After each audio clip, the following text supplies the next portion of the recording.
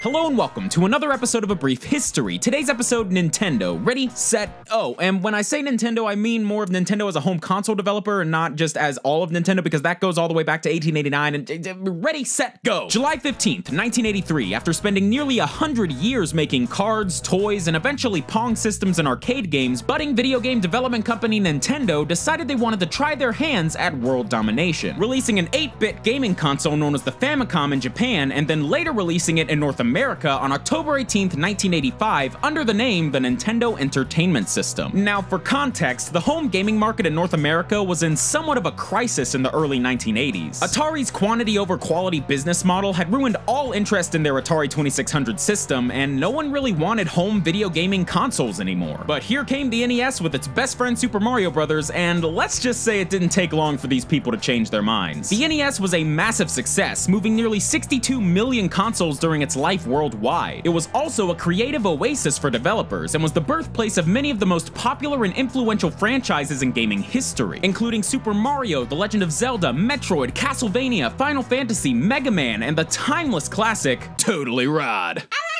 Rad. It's totally rad! However, as the 80s were coming to an end, competitors such as Sega began releasing their own, more powerful 16-bit consoles. And in order to keep their throne, Nintendo would need to upgrade their hardware. And thus, the world was given the Super Nintendo Entertainment System, a 16-bit powerhouse released in North America on August 23, 1991. The SNES took everything gamers loved about its predecessor and polished it all to a gleam. Graphics were better, music was better, controls were better, and everything was just bigger and better than it was before. But as the years went on, Nintendo became more and more ambitious with the system. Through the implementation of things like Mode 7 and the Super FX chip, the SNES was actually able to output crude 3D graphics, as seen in games like F-Zero and Star Fox. The next step was clear. On September 29, 1996, Nintendo released the Nintendo 64, a console dedicated entirely to fully polygonal 3D gaming. And while the system was revolutionary in its sheer scope, it had some stiff competition and Nintendo wasn't really making it easy on themselves. They still insisted on publishing games on cartridges rather than CD-ROMs, which were becoming the industry standard, and this decision cost them several exclusives like Final Fantasy VII, you've probably never heard of it. But despite this, the N64 still managed to sell an ironic 32 million units, which was good, but a notable downgrade compared to the sales of their previous consoles. And unfortunately, this lack of sales would only get worse with their next console, 2001's GameCube. Hey!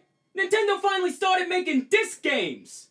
This is what you wanted, right? Yeah, around the same time, Microsoft released this behemoth of a system called the Xbox, which was basically a PC made exclusively for gaming that would eventually even be able to go online for multiplayer. GameCube had a handle and some baby discs. So while the GameCube's library boasted undisputed classics like Metroid Prime and Smash Bros. Melee, the system ended up placing dead last during the 6th generation console wars. So let's just say that Nintendo had quite a bit of catching up to do. And in a gaming market that valued graphical prowess and easily accessible controls, Nintendo knew it only made sense to do none of that. Nintendo Wii! Yeah! Released on November 19th, 2006, the Wii was a strange beast. What with its lack of HD graphics and its focus on motion control, on paper, the Wii didn't sound like a very commercially competitive console, but actually the opposite was true. The system was notably cheaper than its competition, and games like Wii Sports and Super Mario Galaxy quickly justified the motion control setup. Both gamers and non-gamers alike could find something to love in the Wii, resulting in the console becoming an unprecedented smash hit, moving an insane 101 million units in its lifetime. But Nintendo would not be riding this high horse for very long. Come 2012, Nintendo decided to follow up their Wii system with the similarly branded Wii U. This system chucked out the motion controls in favor of a freaking Game Gear-sized touchscreen tablet controller, and the goal of the system was well, no one really knew what the Wii U was for. The tablet wasn't technically portable, many developers were unsure how to program for the asymmetrical dual screen setup, and those games that were designed for it were almost always viewed as clunky. But confusing selling points aside, the Wii U was still a pretty solid console. It brought Nintendo into the world of HD and boasted some of my personal favorite games in the company's history. Unfortunately, good games don't count for much when no one buys your console, and the Wii U's lack of third-party support and confusing marketing led to pretty abysmal sales. The system only sold around 13 million units, making it Nintendo's biggest home console bomb period. So Nintendo's reputation in the home console console market had fallen pretty heavily. Gone were the days of sheer dominance, and by the early 2010s, Nintendo was essentially buried by its competition. But there was an upside. You see, one thing that Microsoft, Sony, and the PC gaming market could never compete with was Nintendo's complete and utter monopoly over the handheld gaming market, which dates all the way back to 1980 with the company's Game & Watch series of handhelds. These primitive little LCD systems were pretty cool toys for their time, but Nintendo didn't strike handheld gold until 1989 with their classic Game Boy. The Game Boy's ease of accessibility and ability to recreate games similar to those on the NES made it an instant classic that spawned a whole line of successors that added everything from color graphics to an advanced 32-bit processor. But around 2004, Nintendo decided that it was time to try something different with their line of handheld systems, and thus the world was given the Nintendo DS. This system was essentially a Game Boy Advance SP, except with an added touchscreen and the ability to run fully 3D games. And similar to its beige brick ancestor, the Nintendo DS was a massive success that spawned a whole line of successors, the most notable of which was the Nintendo 3DS, which introduced the gaming world to stereoscopic glassesless 3D. Well, actually, Nintendo did try to bring 3D to the gaming world back in 1995, but uh, it didn't really go anywhere. We try not to talk about it much. So Nintendo's presence in the handheld gaming market was, for the most part, completely unmatched. Sony's PSP and PS Vita systems never really caught on with US audiences, Microsoft never even tried to compete, and the mobile gaming market is really a different beast entirely. So while Nintendo's home consoles may have been struggling, they were consistently knocking it out of the park when it came to handhelds. And suddenly,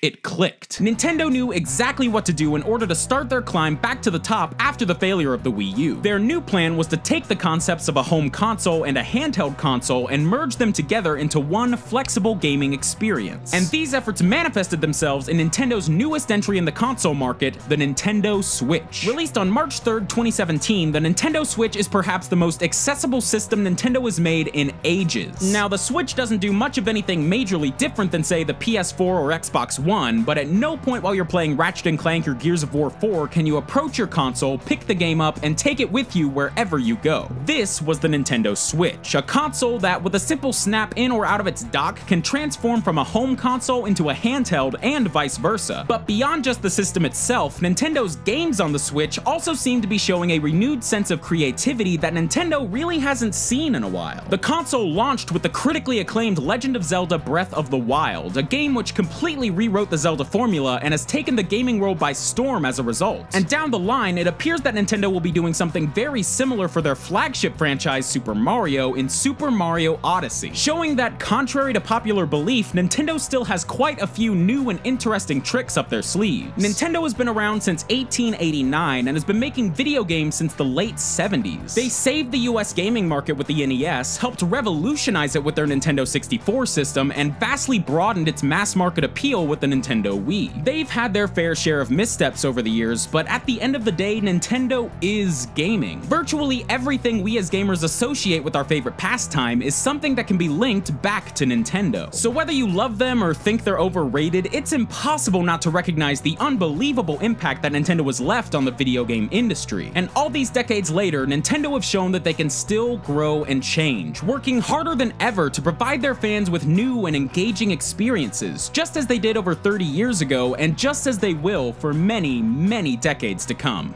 Thanks for watching, guys. DFTBA. Hey guys, thank you so much for watching my Nintendo Brief History. I hope you liked it, and if you'd like to see some more Nintendo content, you can check out my last episode about Yoshi. Or if you're just in the mood for more brief history in general, I've really been amping up production over on my personal channel, Foot of a Ferret. So if you'd like to see some of those, you can check out a playlist of recent episodes right here, and that's about it, so I'll say it again, thanks for watching guys, and DFTBA.